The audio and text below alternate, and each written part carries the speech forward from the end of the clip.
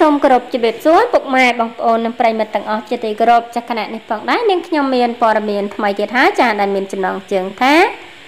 ទឹកចំនួនកំពុងវាយលុកស្រុកបាវិលជាថ្មីខណៈស្រុកកំរៀងលិចច្រកទ្វារអន្តរជាតិដួងចាចាយោងតាមព័ត៌មានបឋមដែលកសន្តិភាពទទួលបាននៅព្រឹកថ្ងៃទី18ខែតុលានេះបានឲ្យដឹងថាចំនួនទឹកភ្លៀងបាននឹងកំពុងចាប់ផ្ដើមវាយប្រហារជាថ្មី ចូលតាមបណ្ដាឃុំមួយចំនួននៅស្រុកបាវលខណៈចរៈទ្វារអន្តរជាតិដួង នៅស្រុកកំរៀងក៏កំពុងចាប់ផ្ដើមលេចលងដំណើរគ្នានៅព្រឹកនេះដែរ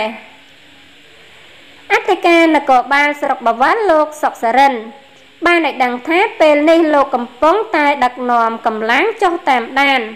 ស្ថានភាពទឹកជំនន់ដែលបានចាប់ផ្ដើមហក់ឡើងវិញជាថ្មី ហើយថែមទាំងកំពុងយាយីកំណត់ផ្លូវជាតិមួយចំនួនទៀតផង លោកអន្តការបានប្រាប់ថា ទឹកបានចាប់ផ្ដើមរើបឡើងវិញនៅវេលារំលងអាត្រិតឈានចូលថ្ងៃទី18តុលានេះពេលនេះយើងពិនិត្យឃើញឃុំចំនួន2ដែលកំពុងតែប្រឈមនឹងចំនួនទឹកភ្លៀងជាលើកទី2នេះ គឺឃុំបឹង5និងឃុំអំពិល5ជាដើមគណៈផ្លូវជាតិលេខ 57B ដែលឆ្លងកាត់ឃុំទាំងពីរនេះក៏កំពុងតែប្រឈមជាមួយនឹងការលិចលង់ជាថ្មីដែរដោយឡែកនៅឯស្រុកកំរៀងជាប់ព្រំដែនប្រទេសថៃឯណោះវិញក៏មានសេចក្តីរាយការណ៍ដែរថា ទឹកចំនួនបានហូរធ្លាក់ពីប្រទេសថៃចូលតាមអូរព្រំដែនធ្វើឲ្យជនលិចច្រកទ្វារអន្តរជាតិដួងដែលមិនអាចឲ្យអ្នកដំណើរឬរថយន្តដឹកទំនិញឆ្លងកាត់បានឡើយ។ បើតាមប្រភពពីមន្ត្រីនៅទីនោះបានបញ្ជាក់ថា ទឹកជំនន់ជាថ្មីនេះបានចាប់ផ្ដើមហក់ឡើងនៅវេលាទៀបភ្លឺថ្ងៃទី18ខែតុលានេះដែលមានកម្ពស់ប្រមាណជាង4ម៉ែត្រយ៉ាងនេះក្តីងាកមកមើលស្ថានភាពទឹកស្ទឹងសង្កែវិញកម្ពស់ទឹកហាក់នៅកម្រិតទាបនៅឡើយខណៈអាកាសធាតុនៅពេលនេះកំពុងអាប់អួរយ៉ាងខ្លាំង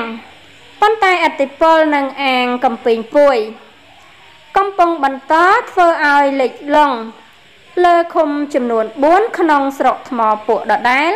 ព្រមទាំងបានយាយាលើកំណាត់ផ្លូវជាតិលេខ5រាប់រយម៉ែត្រទៀតផង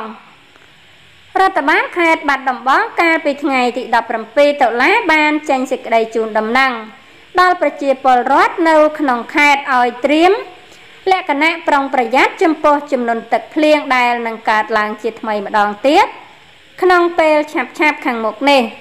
រដ្ឋបាលខេត្តបានជូនដំណឹងនេះដោយយោងលើការព្យាករណ៍របស់ក្រសួងធនធានទឹកនិងអូតូនិយម ដែលបានប្រកាសថាសម្ពាធទៀបសកម្ម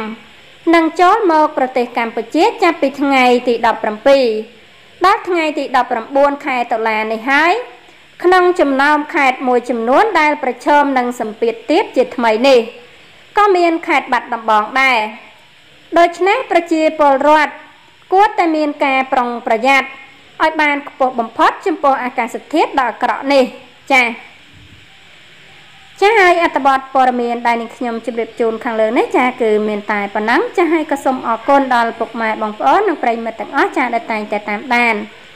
និងគ្រប់ត្រនៅ Channel របស់នាងខ្ញុំជារៀងរហូតមកចា៎ហើយសូមបងប្អូនកុំភ្លេចជួយចុច Subscribe និងរូបកណ្ដឹងម្នាក់មួយផងដើម្បីទទួលបានព័ត៌មានថ្មីៗជាបន្តទៀតចា៎សូមអរគុណសូមជម្រាបលា